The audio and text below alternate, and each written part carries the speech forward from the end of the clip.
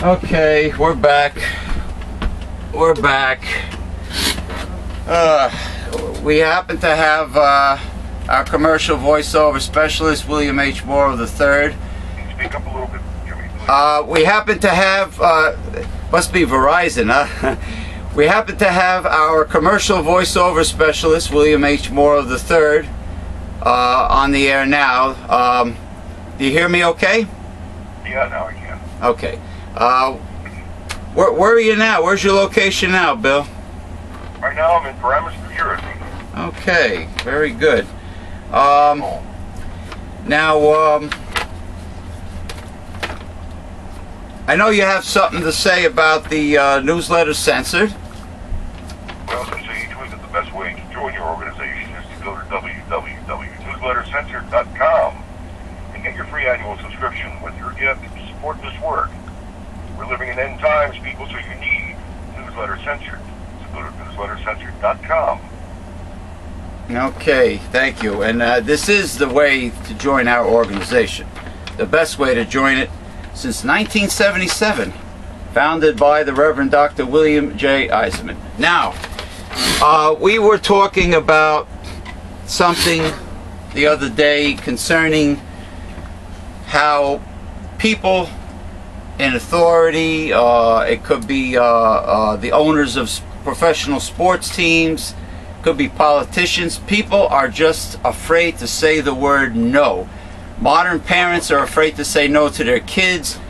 Now, in this case, professional sports team owners, okay, are paying, are, are afraid to say no to the so called superstar athletes.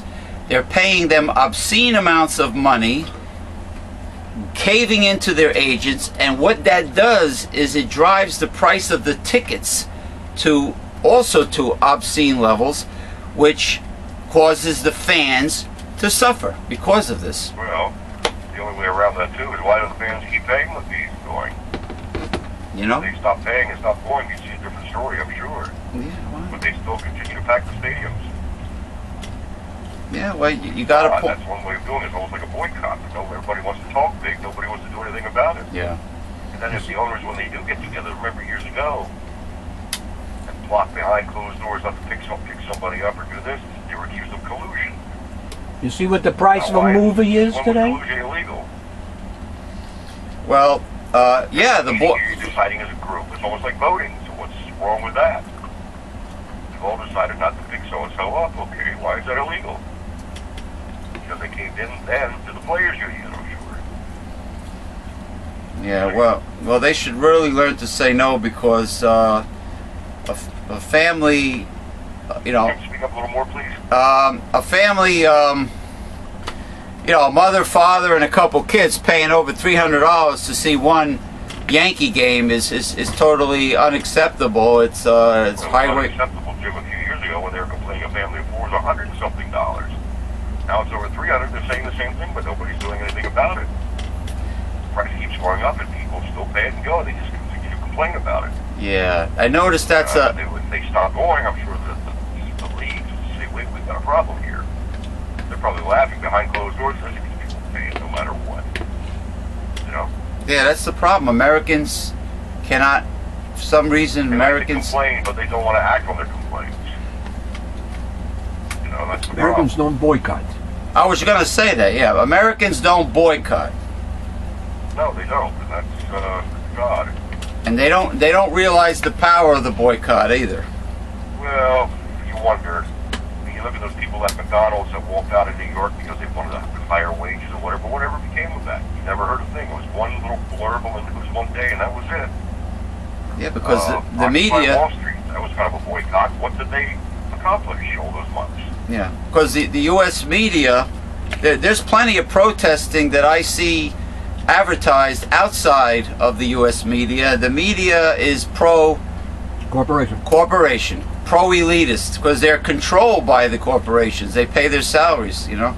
Well, yeah, but, but also the you know you have like like they say the one CNN always gives both sides. MSNBC and then Fox is left and then right. At least CNN gives gives both sides. They don't really cover anything up. I have to give them credit. Oh. That's why they are the network. MSNBC, but but they, they they can only say so much. They can't rock the boat too much because Well, they do. No, they do. CNN does. They ask the hard questions. They confront people. Because I'm trying to get a story here. Would you give us an answer? You're on camera here. They confront. That's why I admire CNN. did they ever tell? Did they ever mention the fact that corporations and the elitists, the top uh, twenty or one percent uh, of of the United States and the world, are trying to uh, turn the planet Earth into a corporate plutocracy and eventually kill, slowly kill off the poor and enslave the little guy? Did they ever mention that? No, but I'm not sure if that's totally true either. No, it's it's true. But so many, so many discrepancy stories on that. So you wonder Yeah. hear that Obama's a, social, a socialist and this and that. You wonder all these different stories. Corporatists. Corporatists. They're One they corporatists. have different interpretations. Not social. They're corporatists. Well, uh, The according only socialism going on in America is towards corporations, subsidies and grants, and it's yeah, they, they give welfare to the rich in the forms of subsidies, right. grants, uh, Wall Street bailouts. But but, but heaven forbid they should help. Heaven forbid they should help somebody a lot less fortunate. Then it's a big problem. Well, also remember I said last week they bailed out the auto industry, or two of the three. Why haven't they bailed out the, the postal service? Because the postal service does not need bailing out; it needs a change. Well, it needs to be changed. Congress- out the mean game. There's seven to eight billion dollars in debt right now. and if you- Congress wrote a law. Congress wrote a law in 26 that the post office must have its pension plans, etc., 75 years in advance. Yeah, but you know that that, that, that hasn't worked. There's something wrong. They have to be restructured. I'm saying it hasn't worked because the point of it all is destruction of the post office to sell it to UPS, DHL, and Federal Express. well, yeah, but DHL left this country for the most part now, which I don't understand that. Whatever. The point the point being they don't the conservatives do not want the post office. Okay? They Well, don't want it. They've got a lot of job people responsible. I mean, you know, depending on that, that's their employment, that's their livelihood.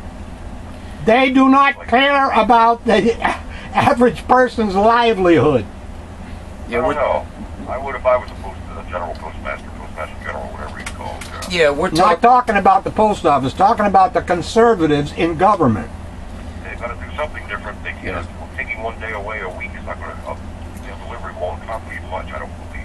Now, now, capitalism under, let's say, FDR, Truman, it was the way, the right way to do it is you gotta keep, you gotta keep the the the, the leash on the big boys, and and you gotta regulate what they're doing because if you don't regulate them, they'll just do every use every underhanded, unethical tactic And then want There- you to bail them out. there is, and then they want when they're in trouble, they want the taxpayers to bail them out. Well, Exactly. that's why you have antitrust laws and all that. Remember, IBM. They're not enforced. Were busted up too.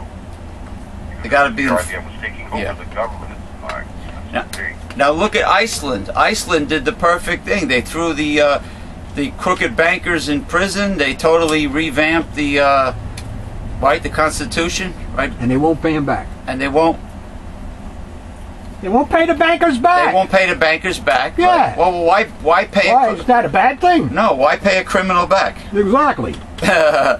you know, and you had Wall Street during the bailout too, and they still still gave themselves even with the bailout bailouts they had big big huge bonuses and third parties, which I don't understand why why a stop was put to that.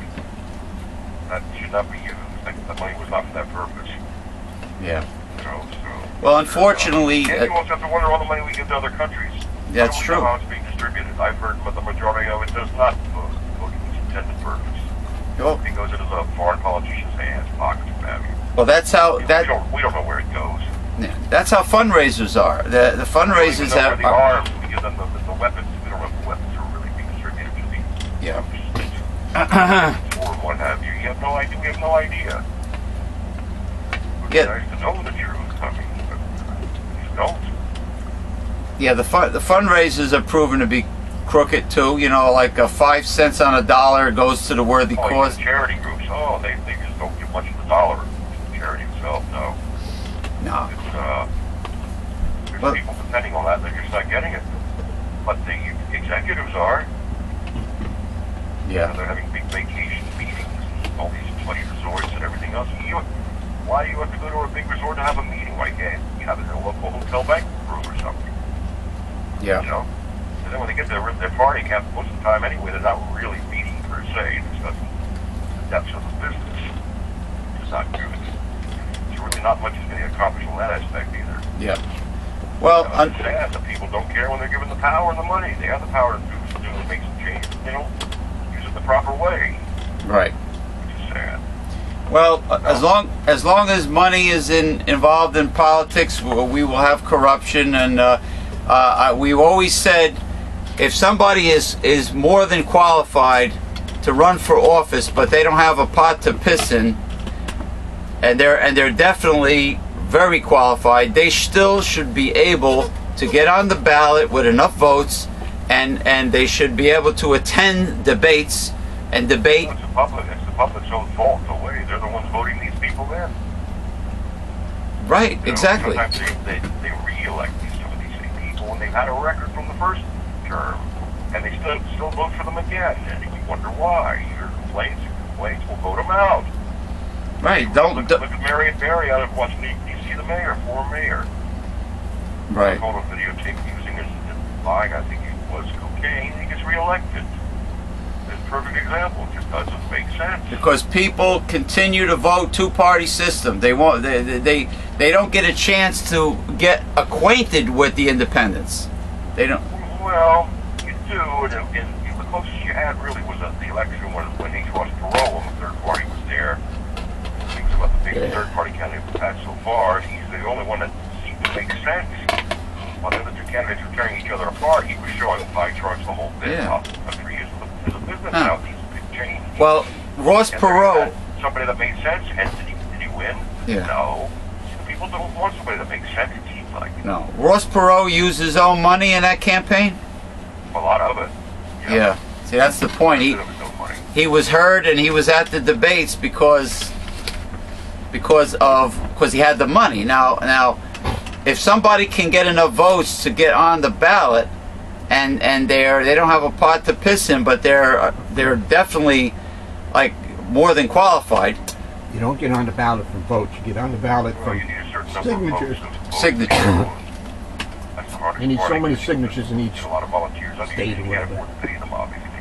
uh, I'm I'm sorry Billy what was that You can't afford to. You need a lot of volunteers. That's the hardest part to get to get the signatures for you to get on the ballot. yeah yeah exactly You always do in every election. You do have other party candidates.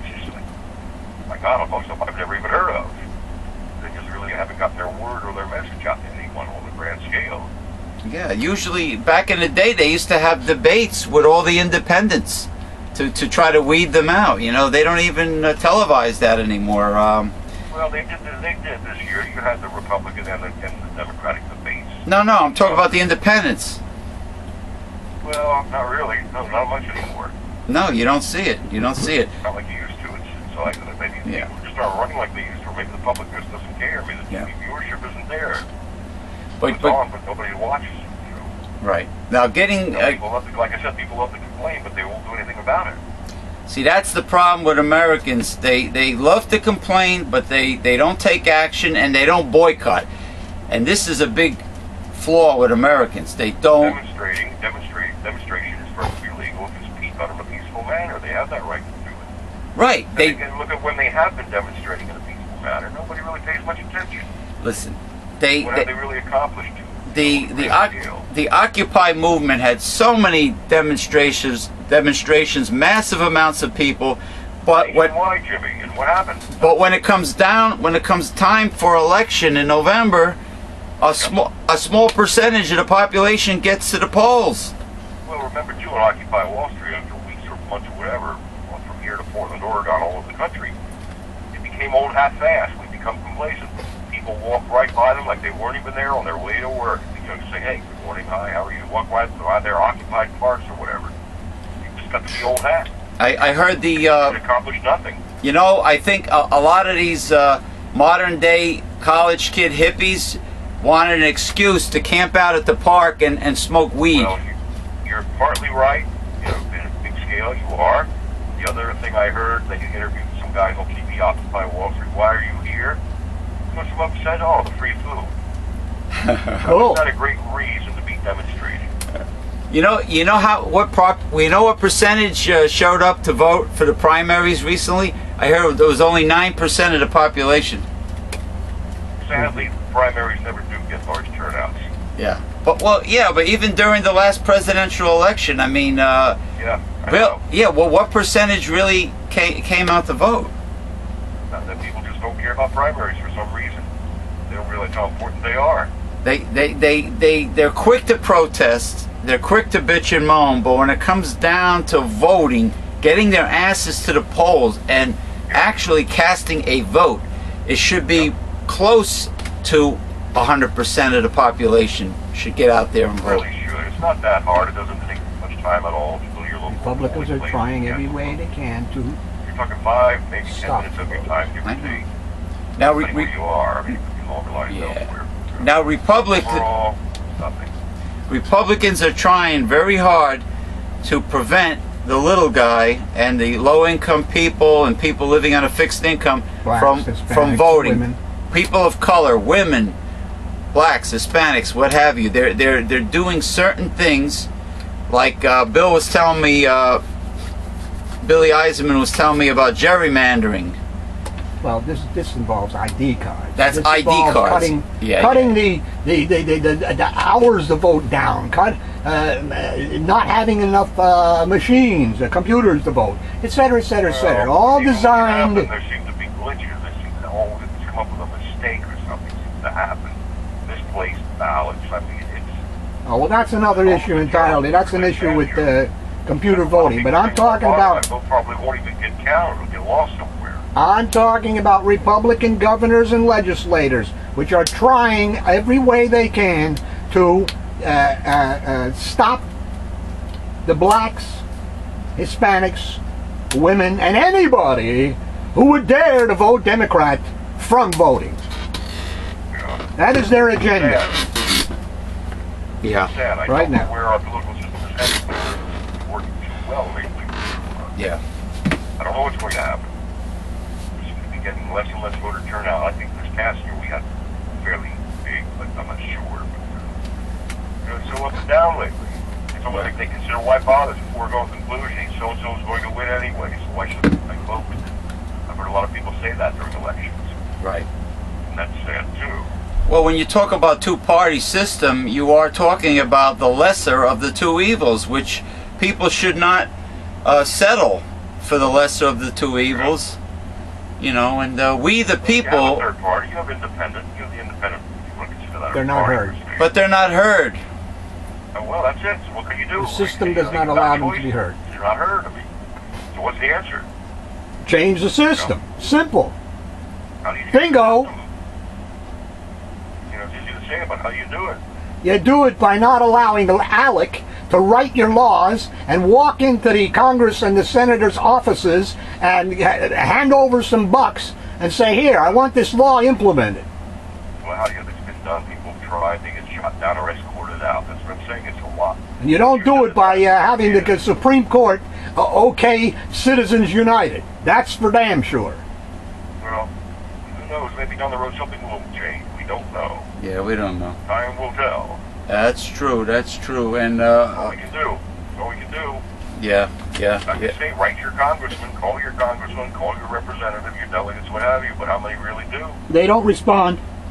oh, There you go. So, so what do you do? I told you, change the You're system. your head against the wall. You do this, they don't respond. Do Change do? the system. You have to You change the But system. nobody's responding. Oh You yeah. Do. You're hitting a hard, a brick wall everywhere you turn. How do you change the system which is budging? Which is putting an end to what you're trying to do at all times. yeah. Well, that's because you're trying to work through the system.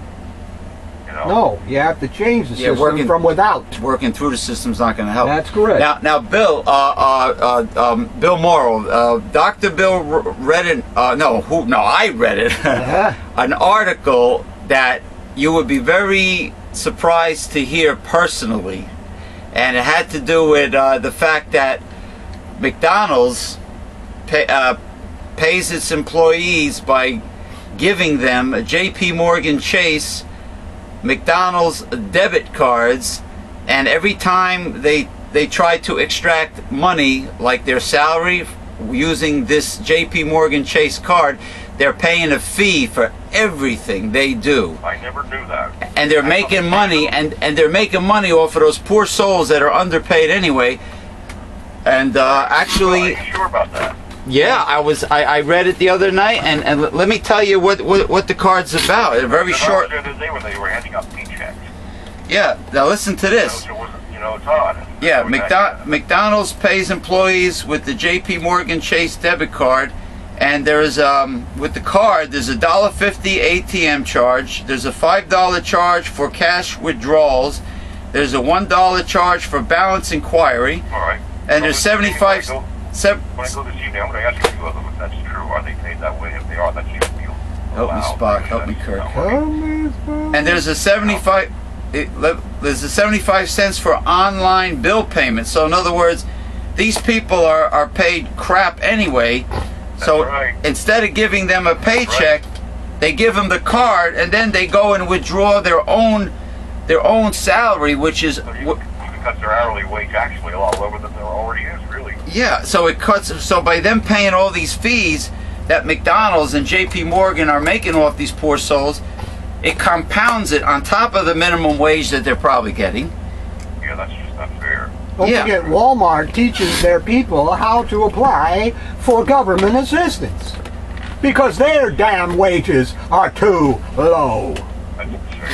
Walmart. Yeah. Walmart. Walmart's wages. I am going to run for today, okay? Yes. Thank you, Bill, Billy. I want to thank you for your Talk to one. both of you, and I will talk to you a little later on.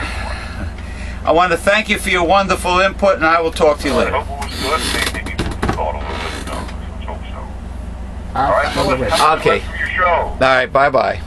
Bye bye, everyone. Bye bye. Oh man, I, I, I need a I need a um, Oh, I, can you? I need a uh, an, I need to take in a Cold leave. compress. I need a cold compress on my head. I know the guy For for 800 years. almost 40 years. I love him, but he doesn't let let us finish. he cuts Well, a- he cuts me off. Yes, he listen. You know, he's got um, the uh, the uh, well the hearing. Hearing aid problem? No, no, he Oh. doesn't have a problem. He's got the eyes of an eagle, and he's got the hearing of, uh, of the Million Dollar Man. Not Ted DiBiase, the uh, Yeah. the Bionic Man. I'm sorry, Man, the yeah. Bionic Man. we can make him better. We can make them better. but when you when you're communicating with a cell phone, and It's somebody hell. puts you on speakerphone, It's hell. and you have a cell phone, he has trouble hearing us, but we can hear him fine. Yeah. And so does the the, the, the, the camera pick him up fine. You know what I mean? But uh, you know, sometimes if like what I was reading the thing about McDonald's, I wanted to get through all the charges. So what's really happening happening is these poor people are underpaid and they're paying out fees which takes which lowers their salary Unfortunately, even more. a lot of people do not understand that these are deliberate policies and tactics. They don't just happen. They're not part of, of, of capitalism. So why on There earth- was a deliberate change in things some 30 years ago. So that why- all benefits of So- government, etc., so- would be given to the elites. So why on earth would companies want people to actually make less than minimum by instilling because these fees? companies are involved only in the short term, three months, every quarter. They're not interested in the long run So or they- how they will be, you know, So- their uh, uh, stock price So they a maximize. year from now. So they want to maximize profits per quarter, and and if a company advertises that we care about customer service, they they they probably hold us. They probably have contempt for us, just like they do their employees. I'll tell you this right off the top Excuse of me. my head. Any company who, in, who in, indulges in voicemail Yeah. does not want to talk to you, the customer. For this, press one, and the pound. For key. English, you press press one. For Espanol, you press two. So they what they do is they narrow it down to the exact department you're supposed to talk to. and then there's no a live representative. And then sometimes their voicemail kicks in after you're listening to this elevator music. I know Social Security Administration, I don't know if they still do, they used to have this sad, depressing saxophone music. Like, like, like, like a ext- extremely depressing, hard luck kind of music that they have to listen to. And then once in a while the voice comes on and says, Your call is important. your call is important to us. It is. It will be taken uh, in, in the order it was received. You will be answered in the order it was received. Did I give you a time? Some of They them give, give you it a time. an estimated Yeah. waiting time. No, no, they only they do that once in a while. the estimated waiting now. You are. You have exactly five minutes left. Oh no, then two minutes. That's not bad. And then you're on the phone for 25 minutes. Oh, another thing I noticed, we've been getting a lot of survey people calling, and when the survey person says, "I'll just, I just want five minutes of your time," mm. don't believe it. It ends up being a half hour, and then when when I ask them, I don't, I don't take surveys anymore. When I ask them at the end, uh, "What do I get for this? Do I get at least a coupon Or 10 bucks. for to go out to eat or something?" They go, "No, you get nothing." Thank you. You know what? Well, don't the, you see the Snapple commercial? that's the last time I do surveys. Don't you see the Snapple commercial? Uh, You pick the lid up and you win nothing. And they're all excited about it. I won nothing! Nothing! I mean, at least mail me some coupons for uh, for TG uh, to for Friday's restaurant or or uh, you know or the, or the Olive Garden or something. Mail me some coupons, something I can use for my time. I mean, you you you keep me on the phone for 20 minutes, half hour, and it's supposed to be a five minute survey. You know, it's like make it worth my while a little bit. Unbelievable. The only time I took a survey lately is when it was political, involving my opinions of Chris Christie and the and the uh, re-election campaign in New Jersey. I, I would do that for free, and I did, and I, I, I gave him my real honest opinion. Did they like that? Actually, the the, the girl who took the survey, uh, lovely, uh, she sounded attractive, you know, from Florida. She had a nice voice, and she uh, she was also progressive, like we are. So she understood my opinions. She, she what the hell is she working